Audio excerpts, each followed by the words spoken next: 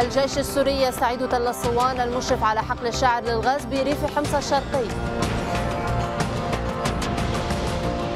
حاملة طائرات روسية تستعد للتوجه إلى البحر المتوسط وعلى متنها أسراب من سلاح الجو مؤتمر فيينا يشدد على ضرورة الانتقال من وقف الأعمال العدائية في سوريا إلى وقف دائم لإطلاق النار. عشرات الشهداء والجرحى في تفجير مزدوج لداعش في بغداد والجيش العراقي يواصل تقدمه نحو الرطبة معارك بين الجيش الليبي وداعش شرق مصراتة واستعدادات للتقدم نحو معقل التنظيم في سرت.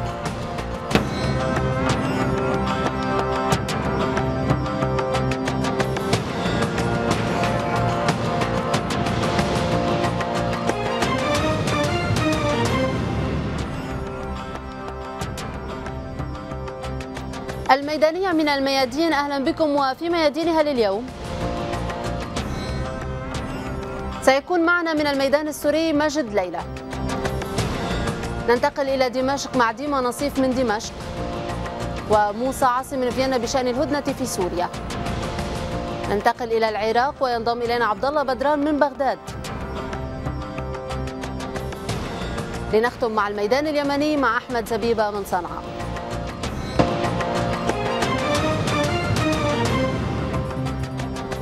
وبالتأكيد لمتابعه كل هذه التطورات ينضم إلينا هنا في الاستديو الباحث العسكري العميد المتقاعد محمد عباس. أهلا بك جنرال.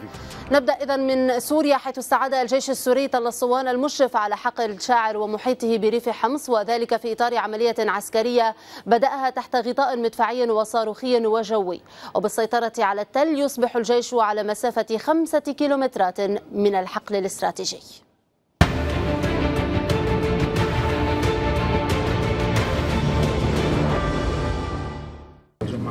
العقيد سهيل الحسن قائد العمليات العسكرية في ريف حمص وقائد صقور الصحراء أثناء الإعداد لمعركة استعادة حقل الشاعر الغزي. معركة تقترب من نهايتها مع التقدم السريع الذي سجله الجيش السوري وحلفائه بعد ضرب الخطوط الدفاعية لداعش. نحن الآن نقوم بتنفيذ رمايات تمهيد لصالح قوات الجيش العربي السوري وقوات صقور الصحراء. ونقوم بالتأثير على الإرهابيين المسلحين في منطقة تل العواميد ومنطقة الصواني وعلى طريق حقل الشاعر لتأمين تقدم المشاة والدبابات باتجاه حقل الشاعر. عملية عسكرية واسعة تأتي بالتوازي مع عملية أخرى من محور الحقل الجنوبي وفي تفاصيل العملية هجوم مركب راجمات الصواريخ وبطاريات المدفعية مهدت لتقدم المشاة باتجاه تل الصوان في مرحلة جديدة من معارك التلال ولا سيما بعدما نجح الجيش في استعادة معظم المرتفعات المحيطة بالحقل من مرتفعات طه وكربلاء وكرار. إضافة إلى تل العواميد.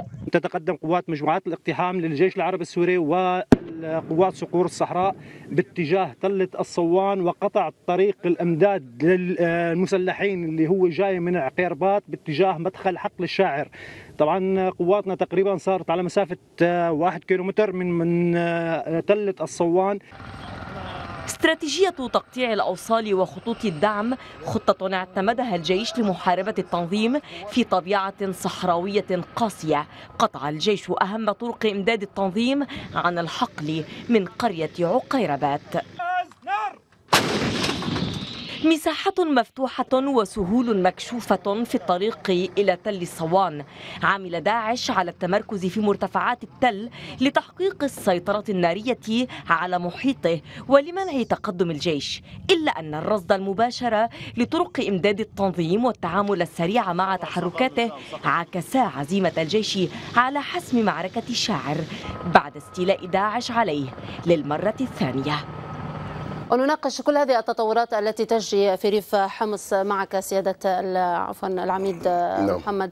نحن نتحدث عن حقل الشاعر الغازي على بعد خمسة كيلومترات وكأن تل الصوان كانت المرحلة جديدة نستطيع أن نقول من خلال هذا التقدم اليوم الذي أحرزه الجيش السوري. هو الأسلوب الدائم الذي يعتمده الجيش العربي السوري في كل العمليات وخاصة في ريف حمص الشرقي. هو السيطرة على التلال الحاكمة على المدينة أو على قرية أو على حقل الغا- الغاز كما يجري حاليا. آه، بنظرة إلى الخريطة آه، الجيش طبعا آه، ال- المعلومات اللي واردة اللي عرضها المراسل هي مع- معلومات شوي قديمة لأنه الجيش العربي صحيح، السوري استطاع تطور السيطرة أبرز، نعم استطاع السيطرة على تل. العواميد.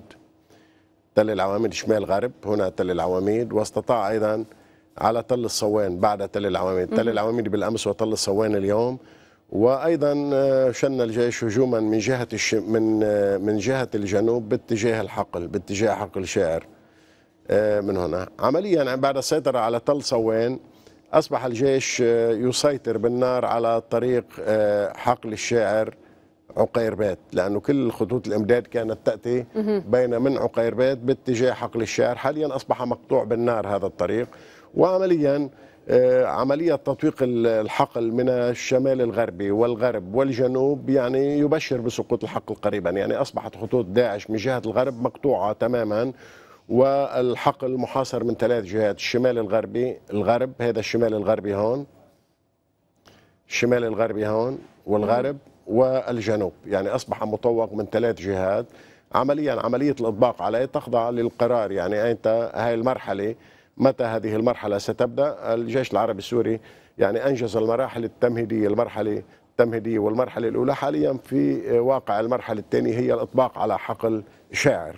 آه، خلال العملية على حقل شاعر آه، عملية الجيش العربي السوري شن داعش بهدف آه، هجوما آه، هجوما آه، من على الجهة ال- آه، الشرقية لتدمر بهدف آه، تعطيل اندفاعات الجيش العربي السوري. يعني هجوم آه، إلهاء آه، على تدمر على مدينة تدمر بحد ذاتها على الأجزاء الشرقية من مدينة تدمر بهدف آه، إرباك عملية الجيش العربي السوري في حقل شاعر يعني عمليا الحقل أصبح قاب قوسين أو أدنى من السقوط مع الإشارة إلى أن حقل شاعر هو يعني من أكبر الحقول الموجودة في منطقة حمص وهو الذي يزود آه، كان يزود الدولة السورية طبعا والأجهزة السورية بحاجتها من الغاز والنفط. حاليا يعني ولهذا هو أه- طبيعي. أهميته لذلك الاستراتيجية هذا ليست الأولى محمد. التي يستعيد فيها الجيش العربي السوري. هذا الحقل ثم آه، تسعى داعش لاحتلاله. ولكن لنعرف أكثر آخر التطورات بما أننا نتحدث عن تقرير قد حدثت تطورات ولكن هنالك تقدم مستمر للجيش السوري. ينضم إلينا من حمص الصحفي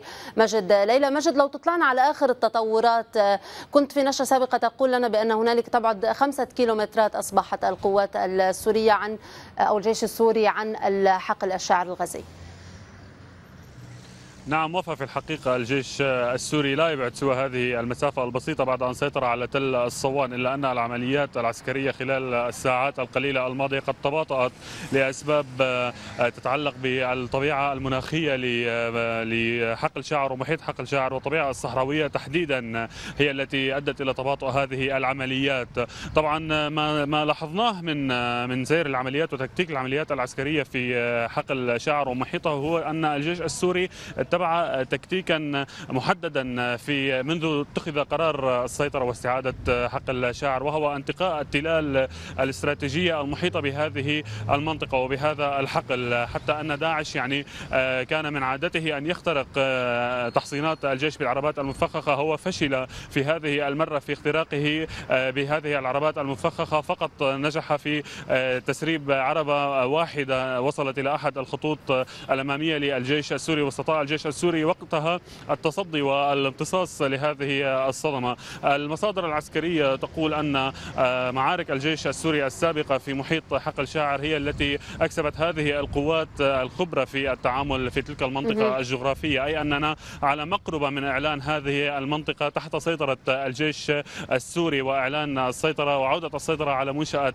شاعر النفطية أو الغازية في ريف حمص الشرقي. طبعا تنظيم داعش بدأ بالانهيار منذ أن نجح الجيش السوري في قطع طريق الإمداد البشري الرئيسي له من قرية عقيربات وهي قرية تقع إلى الغرب من حقل شاعر كانت كان قطع هذا الطريق هو الهدف الأول للجيش السوري وبالفعل نجحت قوات من المشاة من قطع هذه الطريق والسيطرة على مفرق عقيربات الذي. الذي يقع بالقرب من مفرق شاعر الذي يصل إلى الحقل أو إلى حقل شاعر أيضا طرق الإمداد الواصلة إليه من ريف حمص الشرقي من ناحية وهي الناحية الشرقية تحديدا هنا تكفل الطيران السوري والمروحيات السورية بمشاركة روسية أيضا في قطع هذه الطرق وقطع طرق الإمداد اللوجستية بالذخيرة والعتاد والأسلحة آه، لناحية إمداد نعم داعش. نجح الطيران بالفعل في قطع هذه الطرق مما أدى إلى انهيار الدفاعات بشكل متتالي آه، من على التلال المحيطة بالشمال والشمال الغربي لحقل الشاعر نعم. أشكرك جزيل الشكر آه، الصحفي مجد ليلى. كنت معنا من حمص وأطلعتنا على آخر التطورات في ريف حمص الشرقي. إلى الغوطة الشرقية التي ارتفعت فيها حصيلة الاشتباكات بين جيش الإسلام من جهة وفيلق الرحمن وجبهة النصرة من جهة أخرى إلى 700 قتيل فيما تبدو أفاق الحل ووقف القتال مسدودة. تقرير ديما نصيف. ولا ضرب. هدول إخواننا. شوي قادتهم قرروا فيهم قبولات أبو همام البويضاني لأسرى فيلق الرحمن لن توقف حرب الغوطة. جرحى لم يحظوا بعطف قائد جيش الإسلام وقبلاته استجواب وتعذيب أمام الكاميرا شو قالوا لك القيادة تبعك؟ هاي قام تقتل العلماء وشو كمان؟ عم تستريح أموالهم وشو كمان؟ كنت استحل الغوطة.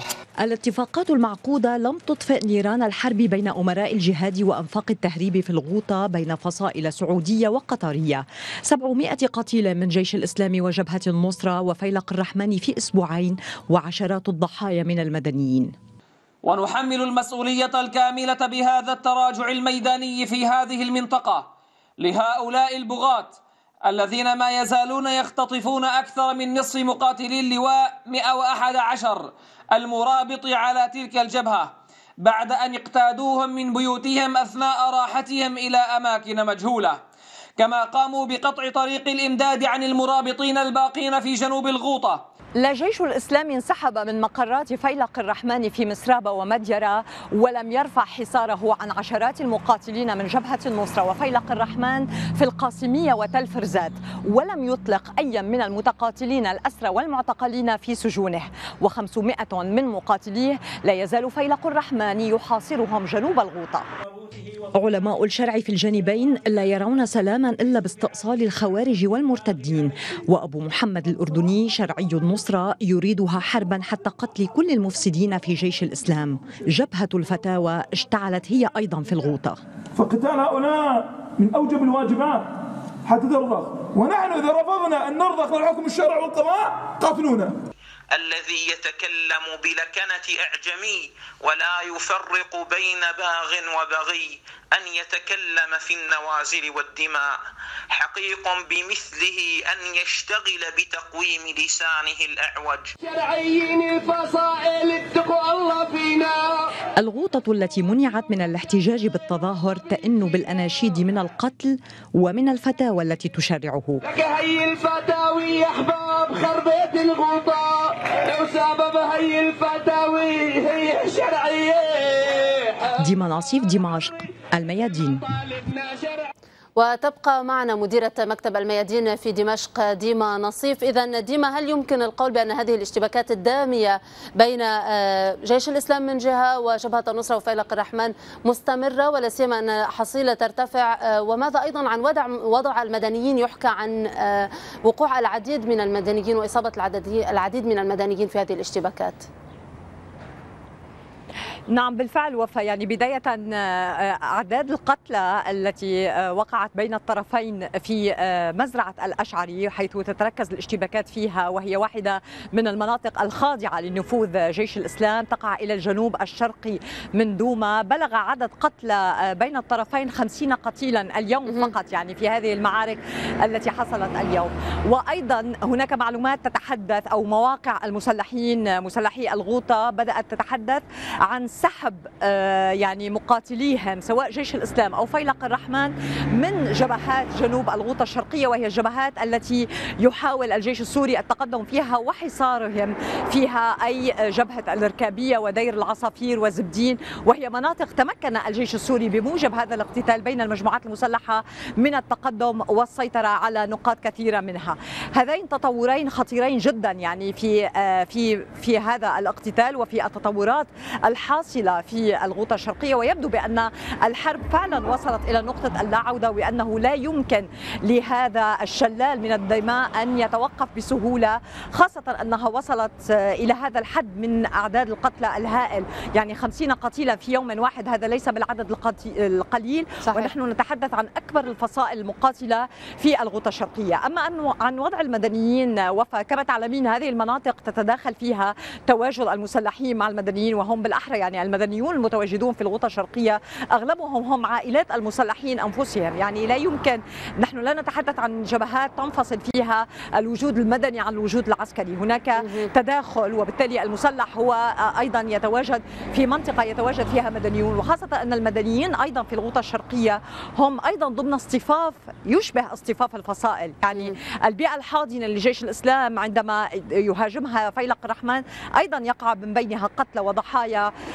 كما يعني العكس يصبح. لكن يعني ال- التطور الخطير أيضا ب- بالمقابل يعني إلى جانب الأعداد الكبيرة من القتلى أن نوعية الأسلحة التي باتت تستخدم هي ليست فقط الأسلحة الخفيفة أو المواجهات المباشرة كما كانت أو. الاعتقالات المتبادلة أو حتى الاغتيالات لقيادات أو شرعيين من هذه الفصائل لا اليوم نشهد آه، يعني قتالا بالراجمات الصواريخ بالمدفعية وهو أيضا مستوى آخر من الصراع إلى جانب طبعا كما تحدثنا من قبل ويعني في الميادين وفي تقارير سابقة بأن آه، تركز الاشتباك أو المواجهة اليوم في الغوطة الشرقية بين جيش الإسلام وهو آه، يعني مجموعة إخوانية وبين النصرة وهي طبعا يعني مجموعة قاعدية. هذا أيضا آه، يظهر آه، خلاف قاعدي إخواني آه، بات يتنافس اليوم بشكل كبير جدا نعم، وخاصة ديما. يعني بعد مقتل زهران علوش على السيطرة ويعني بسط النفوذ في الغوطة الشرقية. أشكرك جزيل الشكر على كل هذه المعلومات. مديرة مكتب الميادين في دمشق ديما نصيف. سادة العميد إذا أردنا أن نتحدث كما ذكرت زميلتي ديما عن بسط هذا النفوذ على أي مناطق أو أي أماكن تحديدا آه، آه، يسيطر جيش الإسلام آه، وأيضا جيش أو جبهة النصرة وفيلق الرحمن صحيح. أي هي مناطق ال- التي يعني يسيطر عليها في المقابل سأبدأ من حيث انتهت ديما وأريد أن قبل أن أبدأ على الخريطة أن أشير إلى أن الأسلحة التي تحدث عنها الجبير. أنه زودنا المعارضة المسلحة بأسلحة حديثة وفتاكة. هذه الأسلحة تحدثت عنها ديما أنه الأسلحة الحديثة تستخدم بين الفصائل المعارضة أو ما يسمى فصائل معارضة هي كل فصائل إرهابية. وأيضا يشترك في هذه المعارك كل من رفض الأمريكيون وضعه على لائحة الإرهاب وتحديدا جيش الإسلام وأحرار الشام. لأنه من جهة المعارك جيش الإسلام ومن الجهة الأخرى أحرار الشام والنصرة وفيلق الرحمن وأجناد الشام. يعني كل هذه وهذه التنظيمات كلها تدور في فلك القاعدة. وأيضا موضوع الإخوان يعني أنا هون عندي اعتراض على هذا الموضوع. آه، جيش الإسلام آه، آه، زعيمه يقلد الشيخ بن عثيمين السعودي ال- الوهابي التكفيري. يعني هو يتبع شيخ سلفي في السعودية وعلى المذهب الوهابي. فموضوع الإخوان هو تلطى بموضوع الإخوان ولكن أيضا في الجهة المقابلة هناك إخوان. يعني الأحرار جزء منهم إخوان أحرار الشام جزء منهم إخوان. يعني هنا قواعدهم الأساسية إخوان وأيضا فيلق الرحمن. حاليا كل التنسيق في الغوطة يدور بين الإخوان والقاعدة تماما كما يحصل في ريف حلب.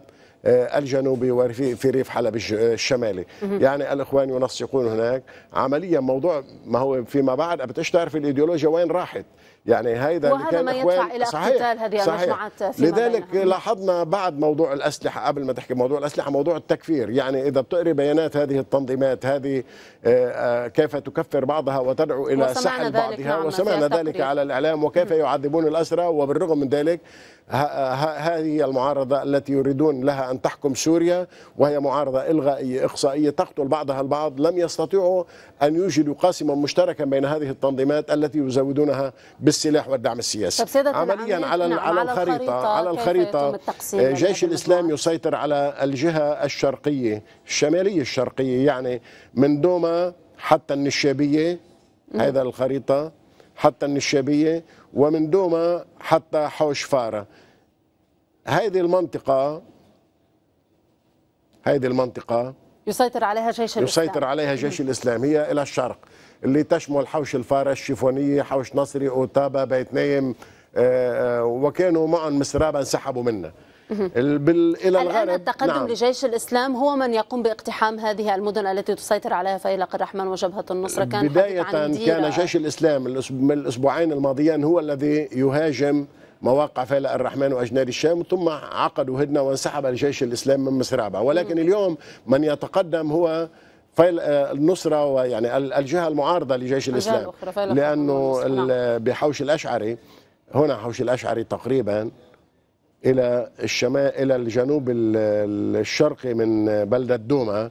المسلحون النصره وأتباعهم تقدموا باتجاه واليوم الاشتباكات تدور في هذه النقطة تحديدا. في هذه النقطة. آه، المنطقة الشرقية يعني عاصمتها حرستا يعني آه، عاصمة جيش الإسلام دوما عاصمة النصرة وأحرار الشام حرستا. وتشمل عربين وزمالكا وعين ترمى والمليحة وجسرين كل هذه المناطق. أيضا في الجنوب الجيش العربي السوري لاحظي هون هي الجيش العربي السوري عند الدائرة الزرقاء.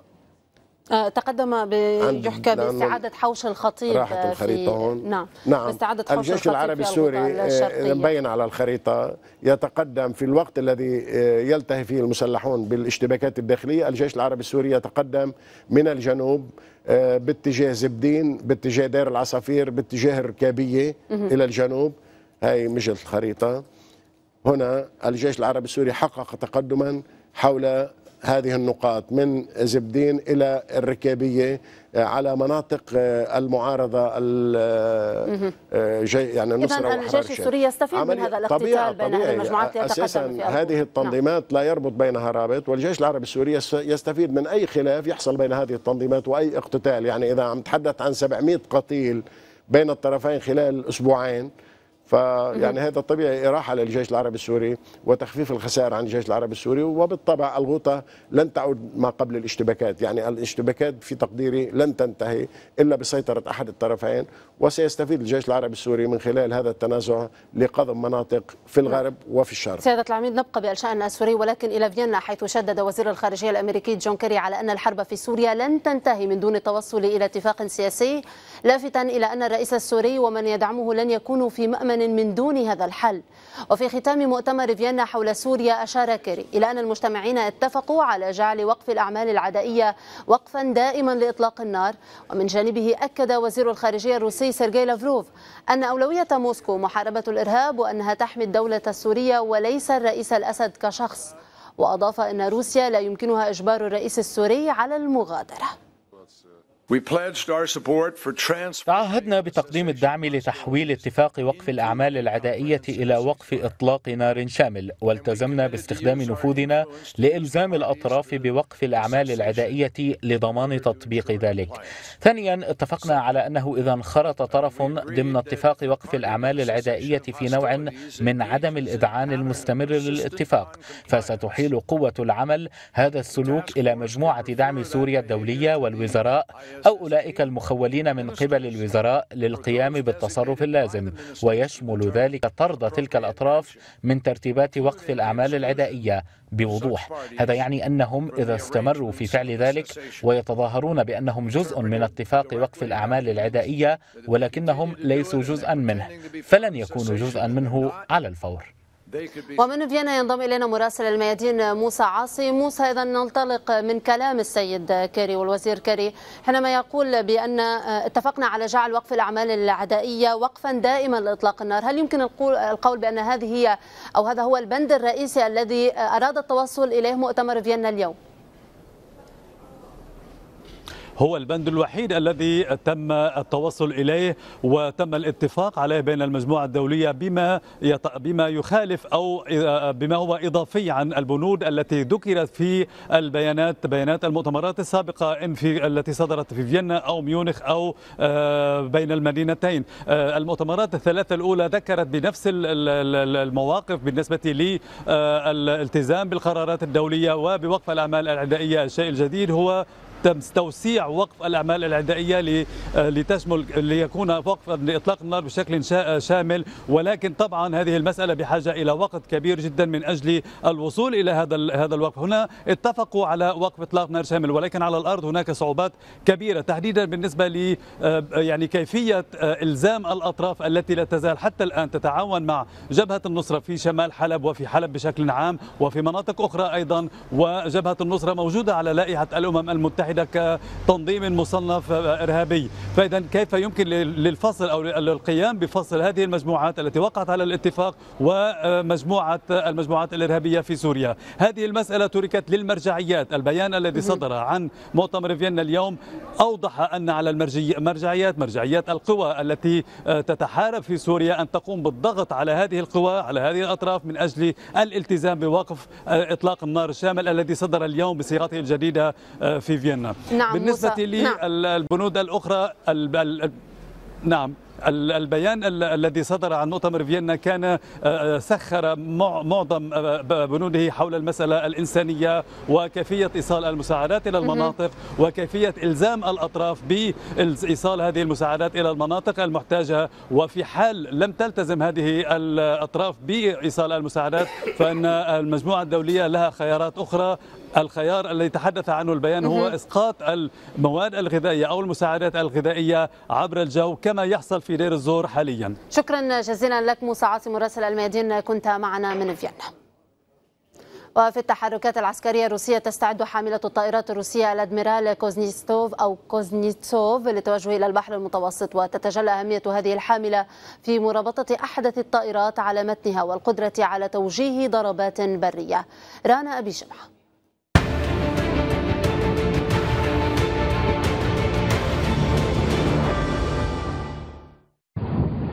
لا تكاد حاملة طائرات تغادر البحر الأبيض المتوسط حتى تأتي غيرها ولكن هذه المرة من جنسية أخرى.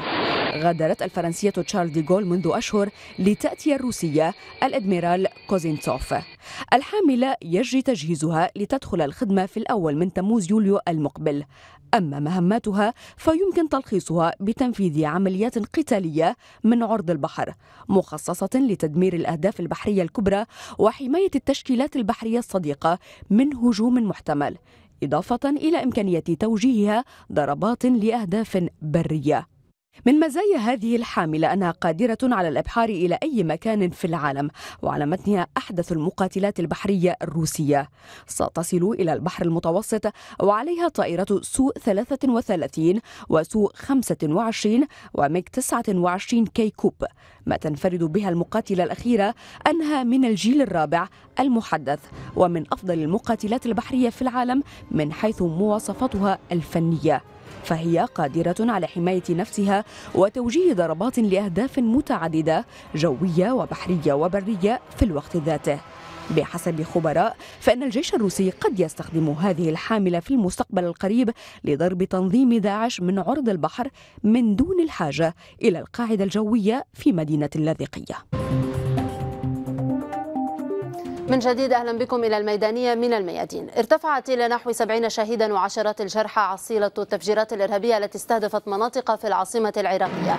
فقد استشهد في تفجير حي الشعب المزدوج 35 شخصا وجرح 40 وفي مدينة الصدر استشهد 22 عراقيا.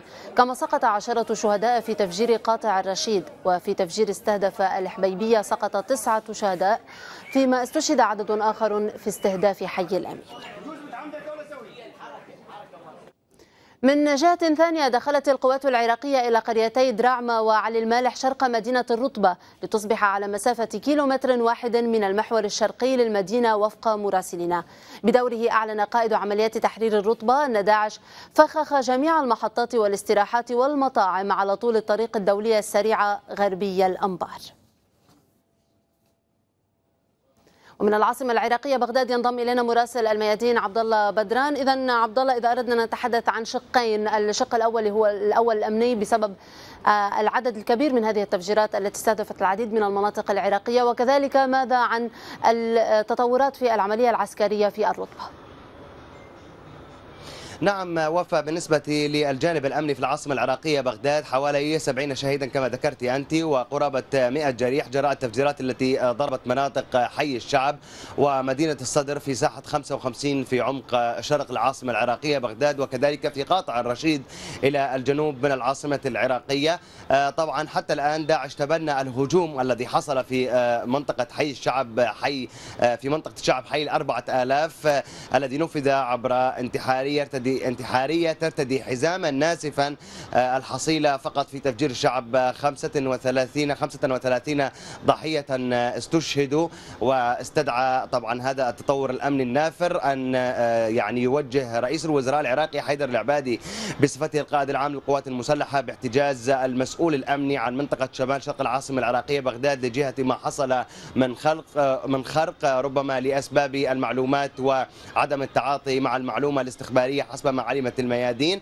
آه، الجدير بالذكر وفى أنه السفارة الأمريكية منذ أيام قد توقعت حصول المزيد من التفجيرات. رئيس الوزراء العراقي حيدر العبادي أيضا توقع حصول التفجيرات واستهداف المدنيين وربط ذلك بما يحصل من تقدم في العمليات وفي جبهات المواجهة سواء في الأنبار أو في صلاح الدين أو بمحافظة نينوى. بالنسبة لسؤالك وفى عن العمليات العسكرية القوات الأمنية العراقية حتى هذه اللحظة آه، هي في تطويق من الجهة الشمالية.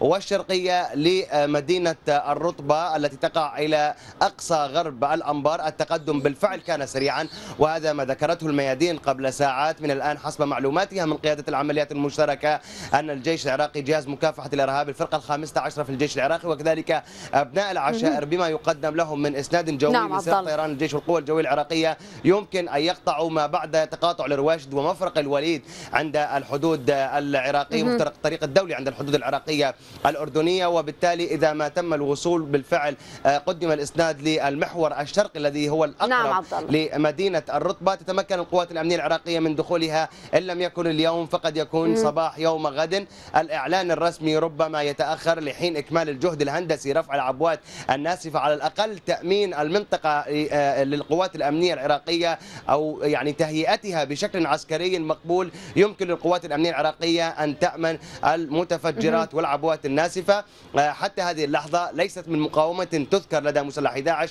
خلا هجومين بسيارات مفخخة في بعض آه، محاور المواجهة. القوات الأمنية العراقية تريد أن تستكمل الاندفاع الذي حصل سريعا خصوصا نحن نتحدث عن 300 كيلومتر من محاور كبيسة وهيد والطريق الدولية. نعم، تريد الوصول. إلى ما بعد مفرق الوليد ما بعد تقاطع الرواشد عند آه، يعني صحراء غرب الأنبار لكي تستكمل الاندفاع شمالا وجنوبا شمالا وجنوبا شمال الطريق الدولي باتجاه القائم عند الحدود العراقية. السورية وجنوبا عند اتضحت الصورة، نعم. وتقاطع آه، النقيب والحدود العراقية السعودية. كل ذلك يهدف لتأمين هذا الطريق الدولي صوب إطرابيل والمنفذ البري بين العراق والأردن. أنا نعم أشكرك جزيل الشكر على كل هذه المعلومات إن كان عن تقدم القوات العراقية لمدينة رطبة وكذلك التطورات الأمنية. شكرا جزيلا لك.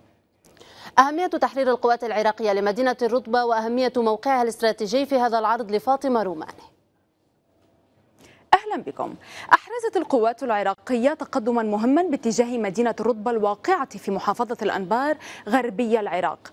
عملية تحرير المدينة من سيطرة داعش الذي استولى عليها منذ نحو عامين انطلقت من المحاور الغربية والجنوبية والشرقية للمدينة بمشاركة الحشد العشائري وبإسناد من الطائرات العراقية وطائرات التحالف الأمريكي إضافة إلى سلاح المدفعية وقطاعات الهندسة العسكرية.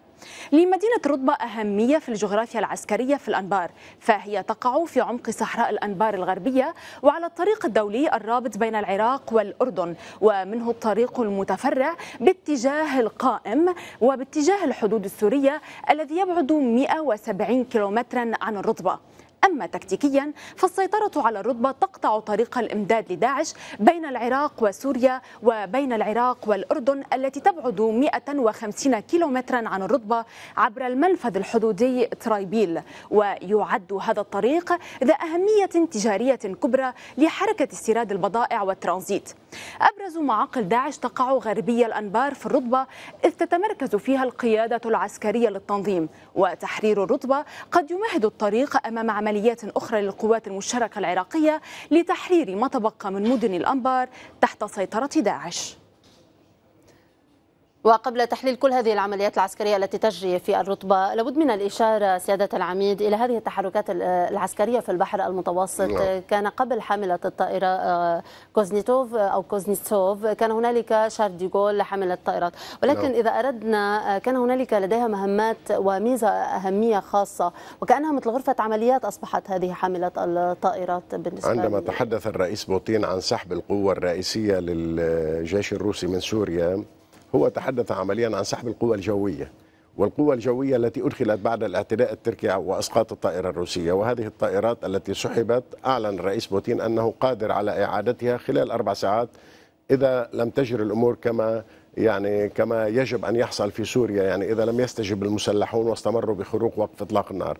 عمليا الحاملة حضور الحاملة آه، يرد على هذا على هذه المسألة وهو البديل عن عودة الطائرات لأنه الحاملة تحمل أكثر من 50 طائرة من كل أنواع الطائرات. يعني من السو 33 اللي هي طائرة تفوق جوي الميج 29 أو الطائرات القاذفة اللي هي آه، سو 25 آه، سوخوي 25 اللي هي قاذفة وهي لمساندة القوات البرية التي تتقدم على الأرض ولضرب مواقع أرضية. وباقي الطائرات هي طائرات للتفوق الجوي وقادرة على إطلاق صواريخ مجنحة سواء من الحاملة أو من الطائرات.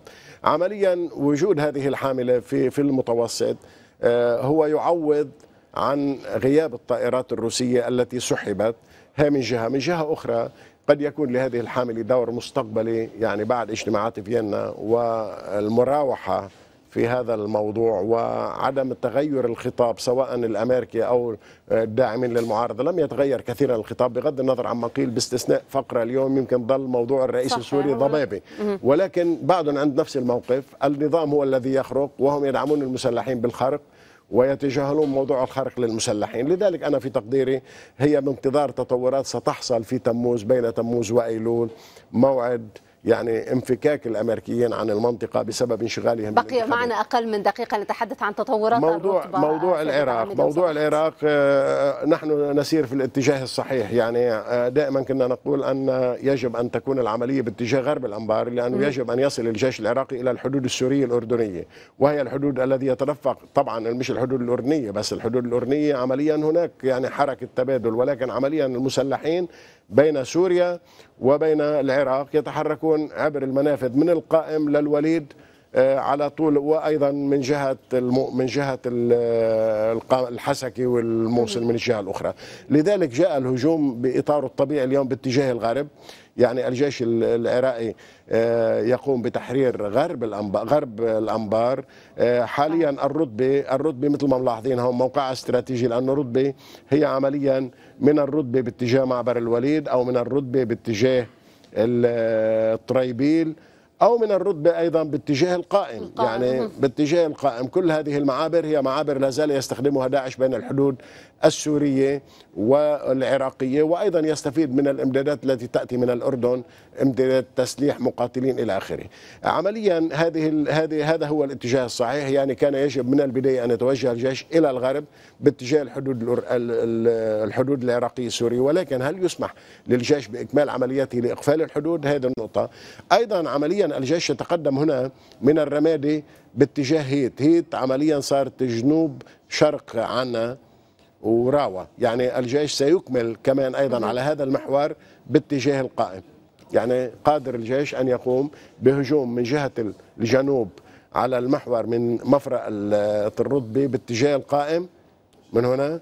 وأيضا نعم. من آه، آه، هيت باتجاه القائم. والوصول إلى الحدود السورية العراقية. إلى هنا نصل إلى ختام الميدان العراقي لننتقل إلى الميدان الليبي والتطورات سيادة العميد حيث تجددت الاشتباكات بين القوات الليبية وتنظيم داعش شرقية مدينة مصراته. المتحدث باسم القوات الليبية أوضح أن القوات تستعد للتقدم نحو مدينة سرت في إطار خطة لتنفيذ هجوم مضاد ودعا المجتمع الدولي إلى ودعا المجتمع الدولي إلى تقديم المساعدات والدعم اللازم لاستعادة المدينة من يد التنظيم. بعد قرارات مؤتمر فيينا بشأن ليبيا والاتفاق على تخفيف الحظر على السلاح إليها. الولايات المتحدة تذهب مباشرة إلى الأرض الليبية وبحسابات عسكرية. المتحدث باسم وزارة الدفاع الأمريكية بيتر كوك قال إن قوات أمريكية لا تزال تعمل في ليبيا في مهمة استخبارية محددة في جمع معلومات عن المجموعات المسلحة هناك وكذا عن تنظيم داعش. البنتاغون يريد معرفة قوة كل فصيل ودوافعه في القتال. قوات أمريكية خاصة تعمل في الغرب في مصراتة والشرق في بنغازي منذ أواخر السنة الماضية. تبحث عن أقرب فصيل يمكن أن يتعاون معها في حال شن أي هجوم على داعش. ما اتفق عليه في فيينا بشأن السلاح وما يجري في ليبيا من سوق مفتوحة على مختلف الذخائر دفع الدول الأوروبية إلى اتخاذ إجراءات احتياطية. فرنسا وبريطانيا تعدان مشروع قرار أمميا يتيح توسيع مهمة بحرية الاتحاد الأوروبي قبالة السواحل الليبية لتشمل احترام حظر الأسلحة المفروض على البلاد. القوة الأوروبية التي صممت لمطاردة مهربي المهاجرين ستتولى أيضا تدريب حرس السواحل الليبيين. وحالما يجري قبول القرار الأممي المقترح سيكون مسموحا للقطع البحرية الأوروبية بتوقيف سفن إذا ثبت أنها تنقل أسلحة إلى ليبيا من دون الحاجة إلى طلب ترخيص من الدول المرسلة. ذريعة البلدان الأوروبية في ذلك أن غالبية الأسلحة تذهب إلى غير جهة ولا تصل إلى السلطات الشرعية في البلاد. الجهة المخولة الآن استلام أي سلاح هي حكومة الوفاق في طرابلس تلك التي لا ترى فيها ألمانيا أهلية تامة لإنهاء عمر الفوضى الدموية في البلاد وفق ما قاله وزير الخارجية الألماني فرانك شتاينماير. سيادة العميد مع هذا المؤتمر الدولي وما يحكى عن تطورات في ليبيا.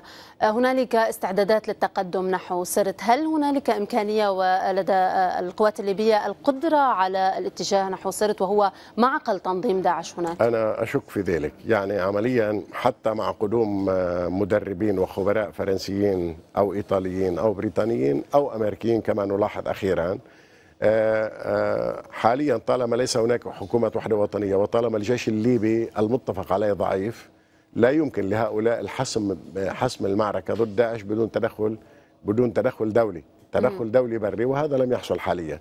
لذلك يعني فكرة بس استنادا للخريطة وين متمركزة داعش. داعش لا زالت في أقصى الشرق في درنا وموجودة في بنغازي أيضا في المدينة وتتقاسمها مع حكومة طبرق. ولا تزال الاشتباكات مستمرة موجودة في سرت لكن المنطقة الرمادية المضللة بالرمادي هون هي من منطقة متسعة على الساحل على خليج سرت تسيطر على داعش وأيضا موجود في الغرب في صبراطة وقرب الحدود التونسية. هذا بالإضافة إلى الجنوب يعني هذا المثلث النفطي عمليا موجود بقسم كبير منه داعش يسيطر على قسم كبير وأيضا اجدابيا وعلى وموجود في الجنوب. يعني هذا هذه المساحة الجغرافية الهائلة الذي يتواجد فيها داعش لا يمكن لجيش مفكك مثل الجيش الليبي. يعني خليفة حفتر في الشرق والإخوان المسلمين في الغرب. هؤلاء لا يمكنهم إذا لم يكن هناك حكومة وحدة وطنية وإعادة تسليح وتأهيل الجيش. يعني عملية القضاء على على داعش في ليبيا مسألة طويلة يعني تحتاج إلى تحضير وتهيئة القوات وتحضير القوات وقبله الحل السياسي اللي هو حكومة وحدة وطنية. سننتقل إلى الميدان اليمني حيث تتصاعد وتيرة المواجهات والاشتباكات بين الجيش اليمني واللجان الشعبية من جهة وقوات الرئيس هادي في مختلف المحافظات اليمنية مع تحليق متواصل ومكثف لطائرات التحالف السعودي، التفاصيل في هذا التقرير.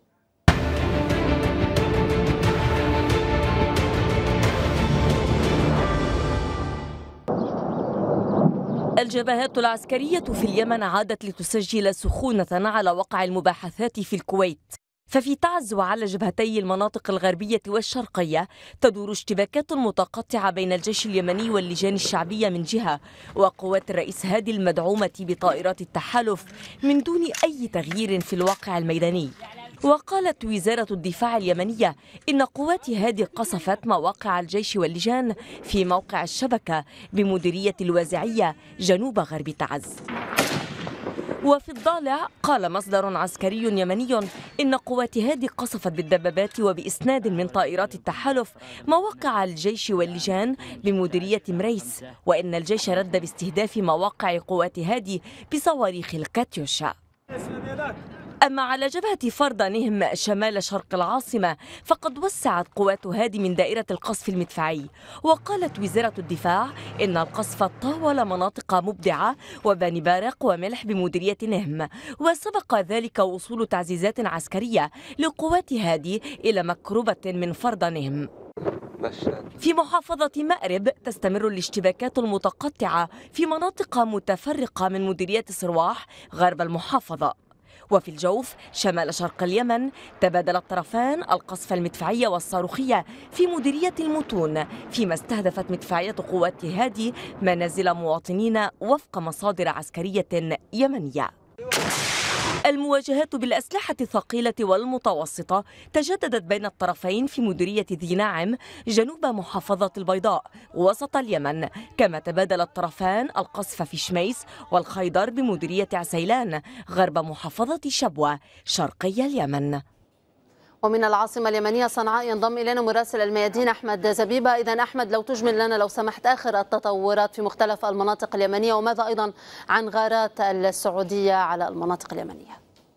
آه نعم وفهناك تحليق مكثف لطائرة التحالف السعودية الآن على العاصمة آه اليمنية صنعاء. التحليق مستمر لأكثر من نصف ساعة من آه من الآن على علو منخفض مع فتح حاجز الصوت. ما يتعلق بالجبهات في محافظة تعز جنوب اليمن.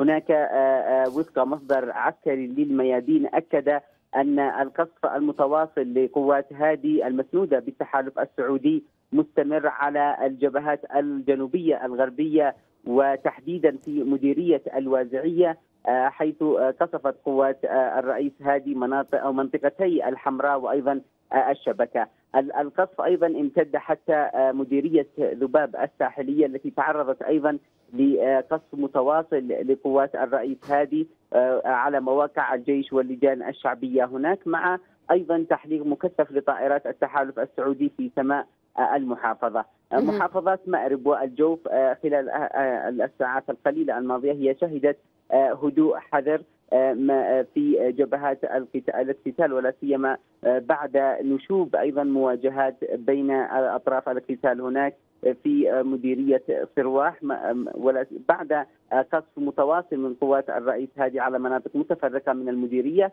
مع أيضا تجدد الاشتباكات في مديريتي المتون والغيل في محافظة الجوف المحاذيه لمحافظة مأرب شمال شرق اليمن.